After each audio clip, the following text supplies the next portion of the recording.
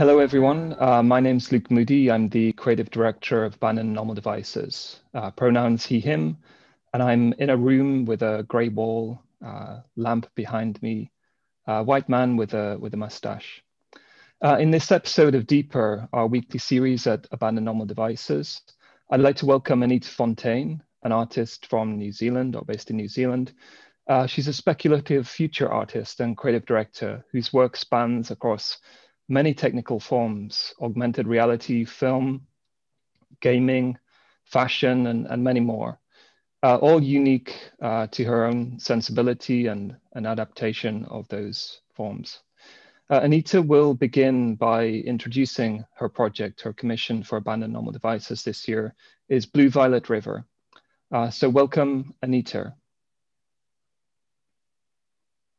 Hello, uh, my name is Anita Fontaine, pronouns she, her. I am sitting in a wooden chair with a uh, rainforest background and a blue shirt, um, medium length hair, blue eyes, and um, white skin. I, am really happy to talk about my project, the Blue Violet River. Um, it's been a, a long production process and really excited to present the project in um, around 10 days opening in Liverpool as part of the AND Festival.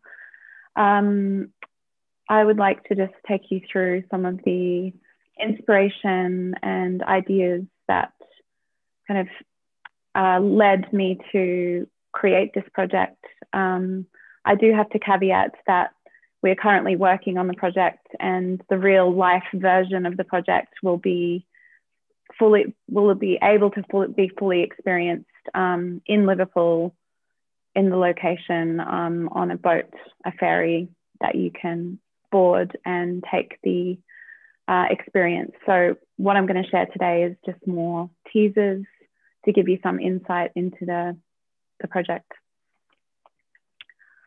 Um, so I initially wanted to take the conventional guided tour that you get when you board a ferry in a city location.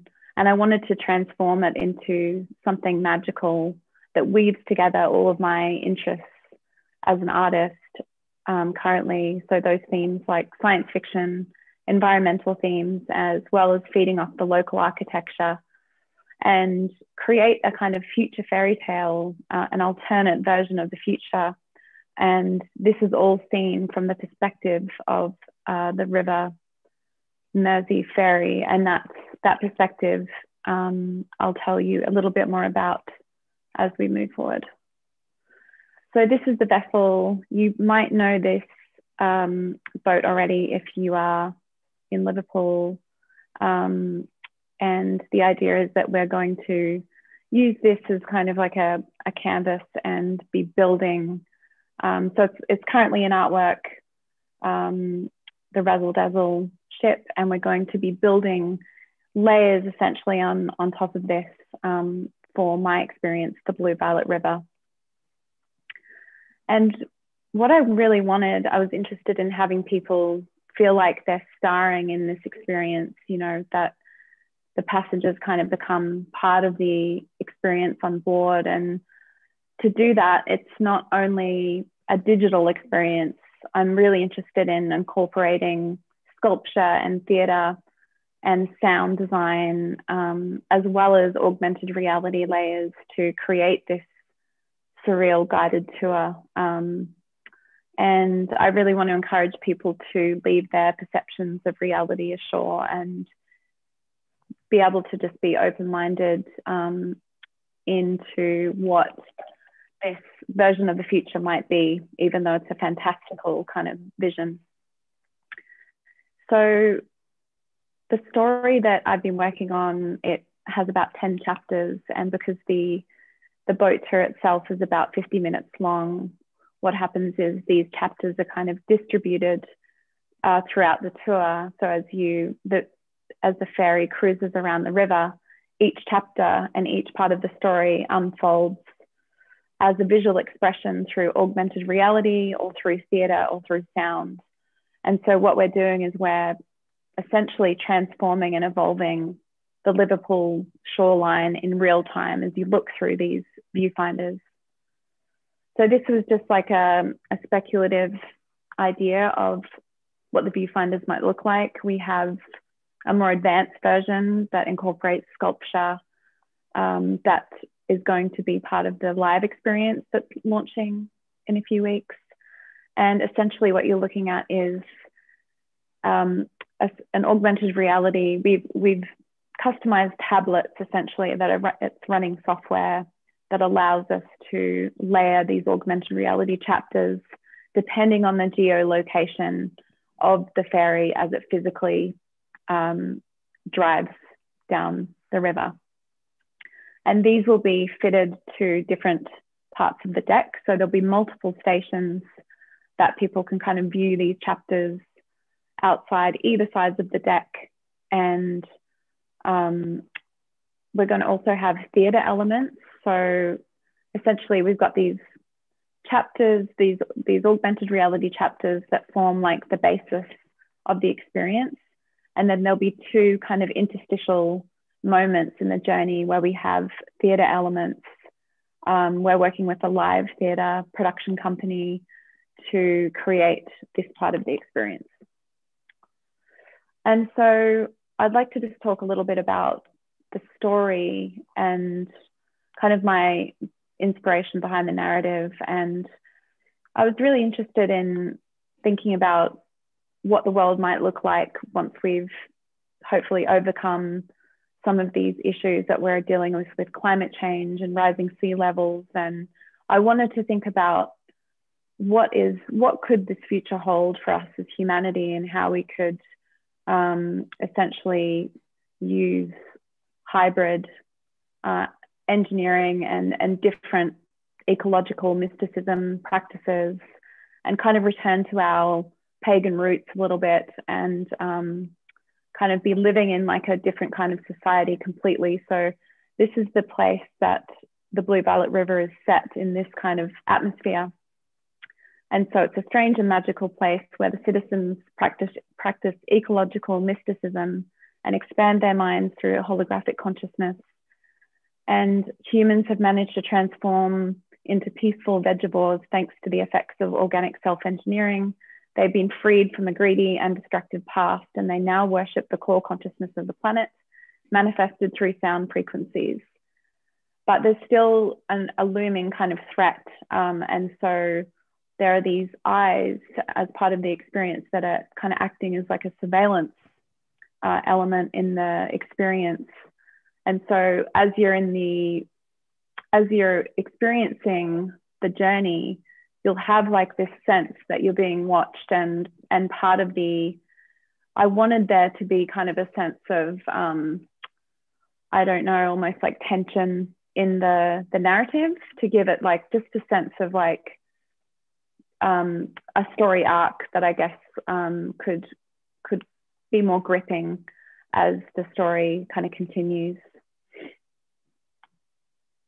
Uh, I'd just like to show you some of the the art uh, that we're creating at the moment, and so we have these ten chapters, and I've been working with an amazing 3D artist um, called Ignas uh, on these chapters, and we have kind of come up with these looping animations essentially that some of, some of them have characters that are very much from this world, this future um, fantasy world that I just talked about.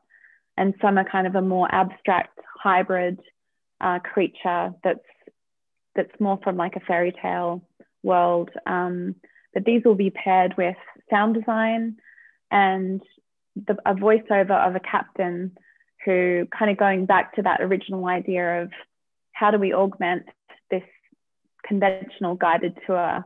Um, and so I'm kind of keeping the captain as a presence in this journey.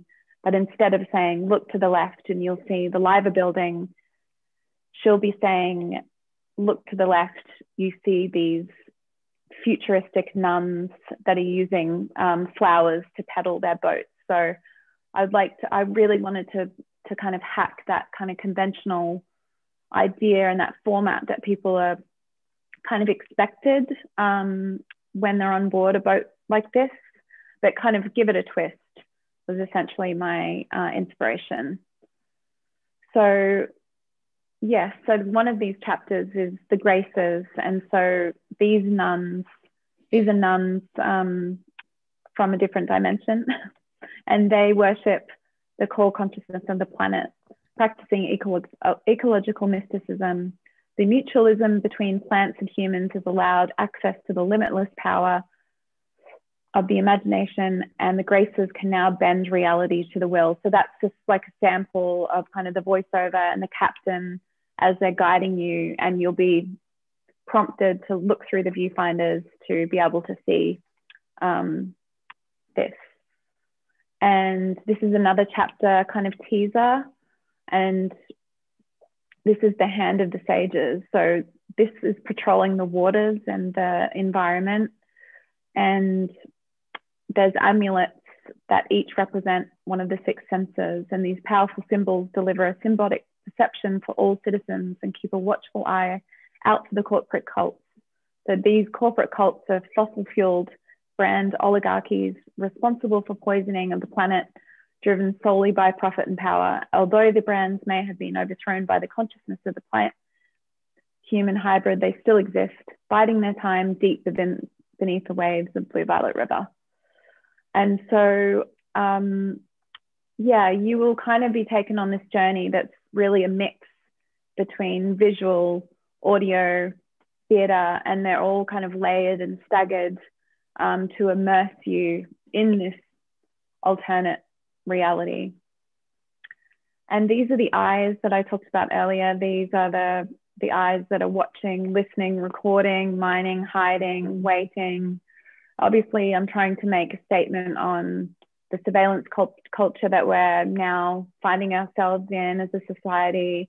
But I'm also just wanting to be a bit more playful um, to inspire people to kind of question these realities and these technologies that we're, these issues that we're facing, um, which are actually quite serious, but I would like to kind of approach them in a, a playful, um, a different kind of manner, I suppose. Um, this is another kind of, I guess, evolution of the eyes. It's a serpent that um, essentially follows you around on the boat and so you could be looking out through one of the viewfinders and essentially you see the serpent um, and he switches from happy to sad in an instant. And um, yeah, he's kind of freaky. And then you have a moment, um, which is one of the final chapters. I hope I'm not giving any of this away for people that might be able to go on the journey because I think that, um, yeah, this is one of my favorite chapters, essentially, where you've kind of gone through this journey and you're able to kind of understand how things might work in a cyclical way. And the return is kind of a, a return to the source where the characters in this world are kind of being drawn up into this kind of cosmic loop. Um, and that's a, a chapter that will take place towards the end of the, the journey. Um, and it's one of kind of the closing experiences that you will, yeah. And I think that that might be the end of my my teaser that I wanted to give. I didn't want to give um, too much away, but hopefully I've given enough away to help um, understand a little bit more about the project. Yeah, thank you, Anita. It's really exciting, and I look forward to um, it unfolding and at the end of June.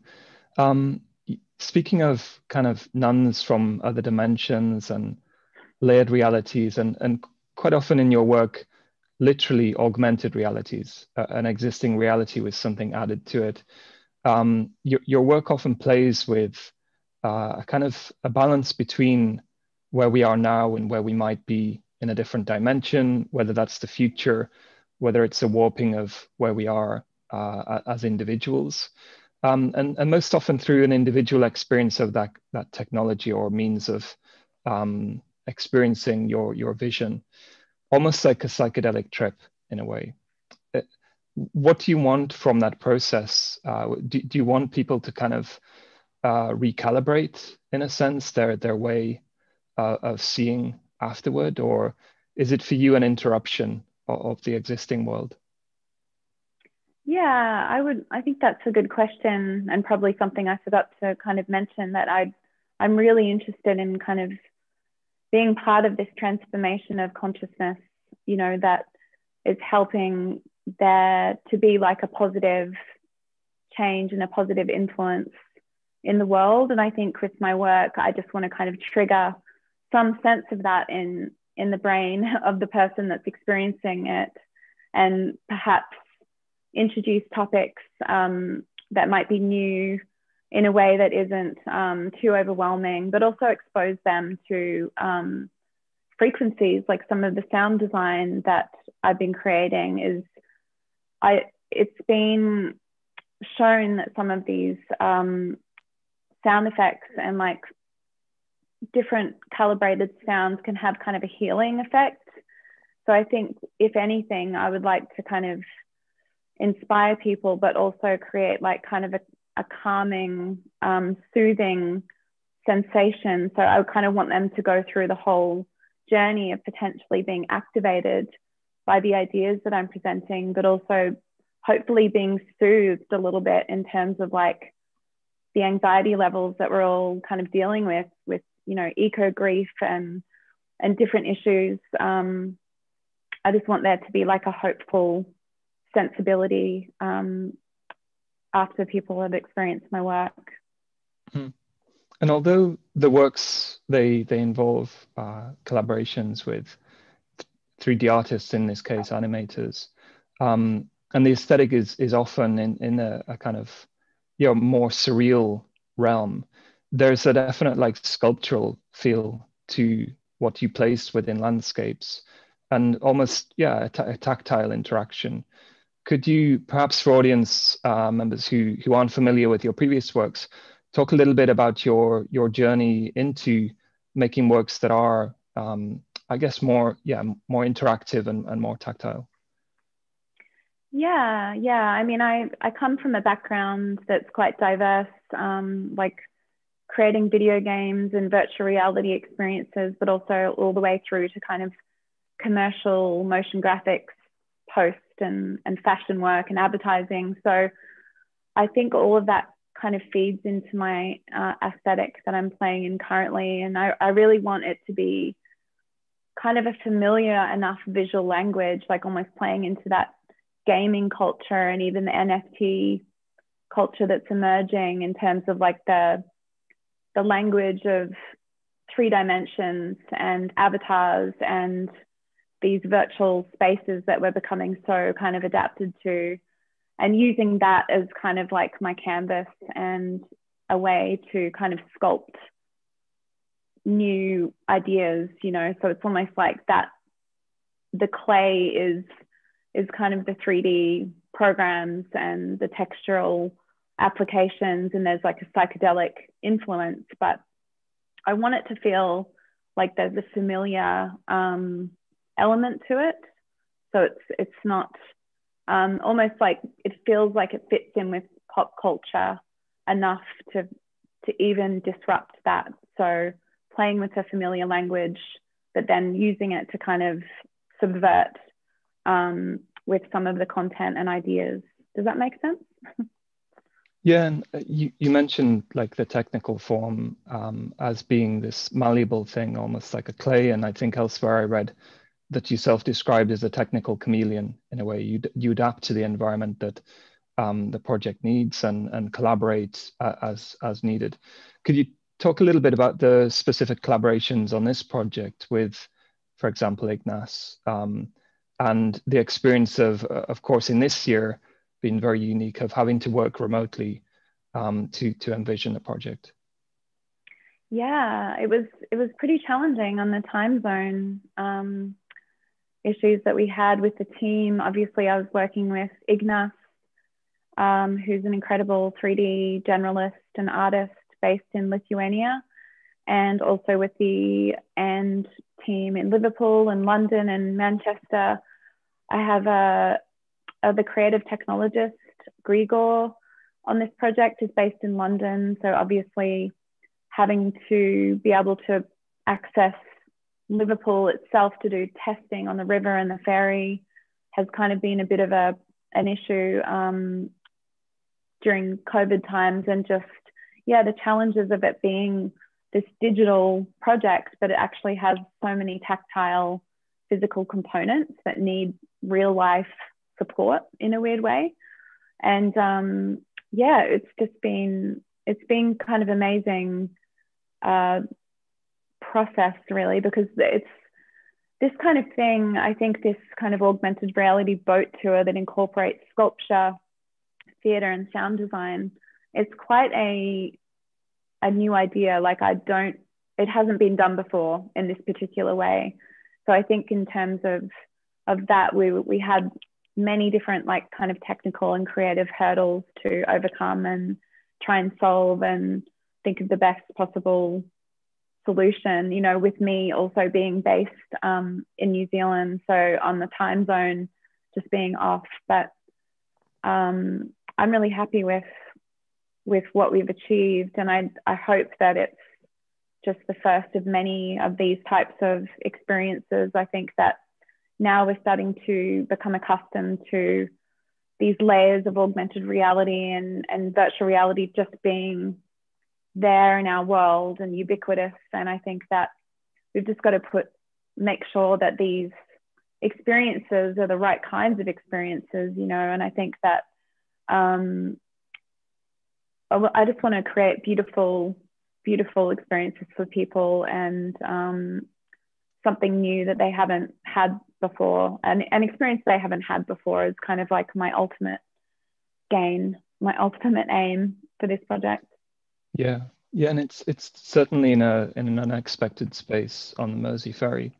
With the aesthetic of the project and your um, working process with Ignas, there is a um, yeah, this, as I mentioned, a kind of psychedelic look to the work. And obviously, Liverpool has its own history of uh, psychedelia, particularly in music, um, and the aesthetic that that brought out. I wondered if you could talk a little bit about the the influences of where those images um, started to emerge from, and whether it was a kind of a basis of your kind of sketches, and then Ignas kind of, uh, I guess, gave a body to those those ideas and, and sketches um, or whether he brought his own aesthetic to the work too. Yeah, um, I I think I, I've had a lot of time kind of considering what this project might look like, and I've been through many different iterations of it, potentially not being three dimensional, maybe more illustrative based. So I've had a lot of time kind of thinking about it and what I arrived at was really, I just wanted to create kind of a future forward aesthetic. Um, and it was really important to me that we get a very kind of luxurious, kind of high end, high quality 3D look to the augmented reality because I'm I'm a little bit turned off by a, a lot of the AR out there that just is kind of quickly done. So I really wanted a craft person, you know, like Ignas to work with. And he's, um, together we put so much detail into every little part of this project. And it really um, started with me doing all the concept art and Ignas literally helping bring that to life. And I've got a background as a texture artist. So I was jumping in and doing textures, which are also a big part of um, the look that you see here. Um, but I think that the the whole psychedelic influence, I I was influenced by Liverpool culture and the history and thinking about the music culture there and kind of the grassroots activist culture, and I also I guess the how industrial the past was and trying to think of like if I could imagine anything for the city of Liverpool this beautiful reality where like humans have essentially kind of moved away from this industry and they're now you know worshipping the, the earth's core consciousness again. It was I quite liked the juxtaposition of those of the kind of having the industrial background, but seeing these beautiful kind of futuristic um, psychedelic animations play out essentially against that backdrop was something that um, I was really excited to try. Yeah, and it, it almost takes a, a slightly spiritual layer, the experience, and and there are some surprises too for people who are going to experience the project with a kind of uh, performative embellishment to um, their journey on on the Mersey too. Um, I wondered if you could talk a little bit just to to close about your your own relationship to water and your first experience of uh, being on the Mersey ferry, whether there's um, yeah, whether there's a spiritual layer to that too. Yeah, I mean, I think that it is a, a spiritual place. You know, I think that um, it, it is currently worshipped um, by some members of the Liverpool Society. You actually told me about that. There's like a, a group, um, I think it's a Hindu group in Liverpool who currently uh, actively worship the, the Mersey River. And I think that that really sparked something for me. I was trying to imagine what it would have been like as well, like drawing from the past. So, drawing from thousands of years ago, what the relationship might have been like. Because for me, it's not all about looking to the future. I really want to be inspired by the past and and the simplicity perhaps of this kind of relationship that we had with the earth and the elements and and the beauty in being able to kind of tap into that to return to that relationship. Um, it's almost like a yeah it's like an ache that i have in my heart when i kind of see you know waterways being polluted and the way that we've kind of treated these sacred bodies these sacred water bodies and the sacred earth. And i think um, there's probably a bit of a subliminal part of this project where I was trying to project this let's take care of the earth you know let's let's kind of um, I'm going to project this new society uh, in the in the hope that we can kind of circle back to a version of the past, but that is is very much future forward and inclusive for everyone but where we take care of each other and and these sacred water bodies i think that that was um, my intention but i didn't want it to be like so heavy i wanted to kind of propose mm. that kind of spiritual idea in a um, a playful way that people could kind of was accessible and that's why i think i am drawn to using kind of the language of pop culture and video games and 3d to kind of communicate some of those ideas that might just seem a little bit like woo woo to some people and I don't I don't want it to be like that because for me it's edgy and it's activist and it's punk as much as it is kind of this psychedelic spiritualism for me like because we're by hacking the the fairy experience that's kind of like I want that to be to feel like kind of an activist feeling, you know, of reinventing the possible futures that we have. Yeah, I think the work definitely has this the, the fantastical layers of it in a sense evaporate from that reality. They're they're like coming out of the the sacredness of the river and the history of that that environment. Um, that's all we've got time for in this week's Deeper, and I'd I'd love to yeah, thank Anita for joining us. Blue Violet River will be uh, situated on the Mersey Ferry from the 24th to the 27th of June uh, this summer. Thank you for joining us, Anita. Thanks for having me. Bye, everyone. Bye, everyone.